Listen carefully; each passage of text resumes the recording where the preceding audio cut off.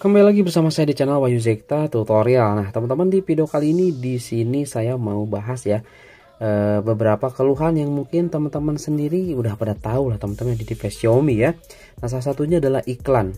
Nah, di video kali ini saya akan coba memberikan tips ataupun solusi bagi teman-teman di sini yang merasa sangat terganggu sekali dengan iklan ya.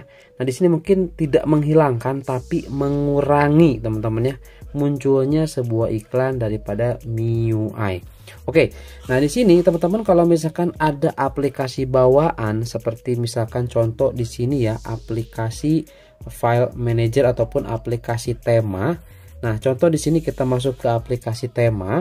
Kemudian kita ini udah iklan ya, kita lewati dulu. Kita masuk ke bagian gambar ini ya. Nah, ini kemudian masuk ke dalam pengaturan. Nah, ini biasanya ada rekomendasi yang dipersonalisasi. Nah, setiap aplikasi yang ada di MIUI atau bawaan itu sebaiknya di sini nonaktifkan. Seperti ini ya. Ini harus dicek nih di setiap setelan aplikasi bawaan daripada MIUI-nya. Oke, ini semuanya rekomendasinya kita matikan. Kemudian kalau kita masuk ke dalam launcher ya, ke Poco Launcher, kemudian ke bagian lainnya, di sini juga ada nih rekomendasi. Nah, tampilkan rekomendasi di sini dimatikan juga teman-teman ya biar tidak keluar iklan gitu.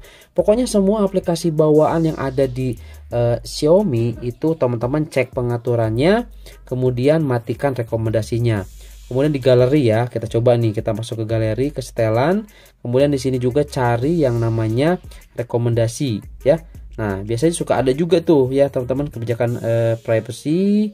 Kita coba eh, mana lagi ya? Kayaknya sih nggak ada sih di sini ya. Sudah dimatikan juga sama saya. Biasanya pokoknya aplikasi bawaan aja, aplikasi bawaan itu semuanya teman-teman matikan rekomendasinya. Oke ya. Nah, Selanjutnya, jika semua aplikasi sudah teman-teman uh, hentikan untuk rekomendasinya, nah teman-teman di sini langsung masuk ke dalam pengaturan atau setting ya. Nah, masuk ke dalam pengaturan atau setting seperti ini. Selanjutnya teman-teman di sini cari sandi dan keamanan. Oke, sandi dan keamanan. Kemudian teman-teman di sini cari otoritas dan pencabutan. Nah, ini teman-teman diklik, kemudian cari MSA dan juga MIUI Diamond. Ini teman-teman matikan ya otoritasnya. Kedua ini matikan. Cuman di sini terkendala kalau misalnya kita coba aktifkan, dia tidak akan mau teman-teman ya. Nah, ini kenapa? Nanti saya akan coba jelaskan. Oke, ini kita coba tes dulu, kita cabut. Ini tidak bisa ya. Kita lihat. Nah, bisa ya. Sebelumnya tidak bisa. Kalau misalkan teman-teman itu tidak bisa, itu berarti akun Mi-nya tidak aktif ya ataupun tidak login. Jadi harus login dulu akun Mi-nya sebelum mau cabut otoritas ini. Kemudian juga MIUI Diamond-nya ini kita matikan juga sama ya, dua ini. Nah, ini saya coba tes di Poco X NFC, teman-teman seperti ini. Nanti kita coba lihat apakah iklannya tetap keluar atau tidak. Ini cabut aja ya cabut. Nah berhasil dicabut. Kalau misalkan teman-teman di sini nggak login ya ini ada solusi lagi. Kalau misalkan teman-teman nggak login Mi akun nah itu bisa teman-teman dengan cara matikan dulu semua data internetnya.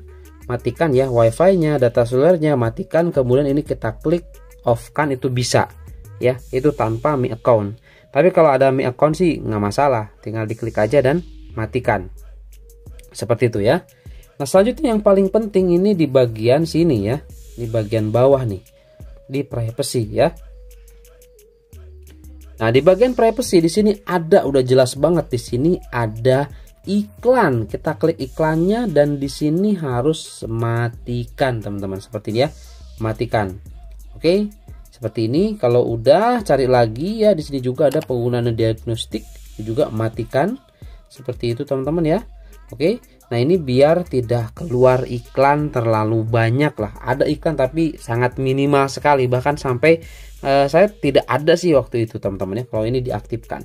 Oke di sini sudah selesai semuanya. Sekarang kita coba tes saja ya ke beberapa aplikasi apakah masih keluar iklan atau tidak. Ini masuk ke tema nih ya. Kita bolak-balik masuk tema dulu apakah keluar iklan atau tidak nih. Nah ini sudah beberapa kali bolak-balik kita tidak menemukan adanya iklan nih ketika masuk ke dalam aplikasi tema tuh ya oke coba lihat lagi tuh oke kemudian masuk ke file manager Nah, ke file manager juga di sini sudah tidak ada iklan, teman-teman. Kalau iklan ini wajar ya, ini iklan bawaan daripada aplikasinya. Jadi nggak ada iklan yang plok yang mengganggu seperti itu. Itu udah nggak ada. Kemudian kita coba lihat di MIUI downloader. Masuk, masuk lagi, masuk lagi, back. Kita keluar lagi, masuk lagi. Kemudian kita masuk, masuk, masuk lagi, aman ya.